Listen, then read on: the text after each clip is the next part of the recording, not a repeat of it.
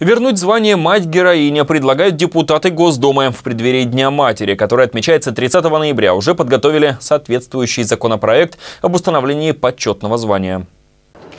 Почетное звание «Мать-героиня» законодатели предлагают вернуть женщинам, которые родили или усыновили 10 детей. При присвоении звания единовременно планируется выплачивать 5 миллионов рублей. Это звание дает право на досрочное назначение пенсии при достижении 50 лет. На мой взгляд, э, матерью героиней можно назвать любую женщину, которая э, растит э, здорового, умного ребенка. Мама, которая родила двоих детей, например, одновременно при родах.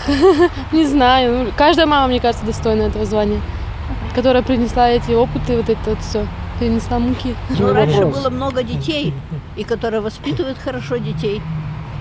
Правильно воспитывают. Ну, сейчас, наверное, А едва ли что? найдете вы мать-героинь в Северодвинске. Я думаю, что мать, которая заботится о детях, которая э, ухаживает за ними. Ну, я лично думаю, что моя мама самая лучшая.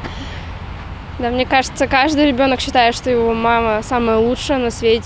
Последний раз женщины в нашей стране награждались званием «Мать-героиня» в 1991 году. Этим званием были награждены более 750 тысяч женщин.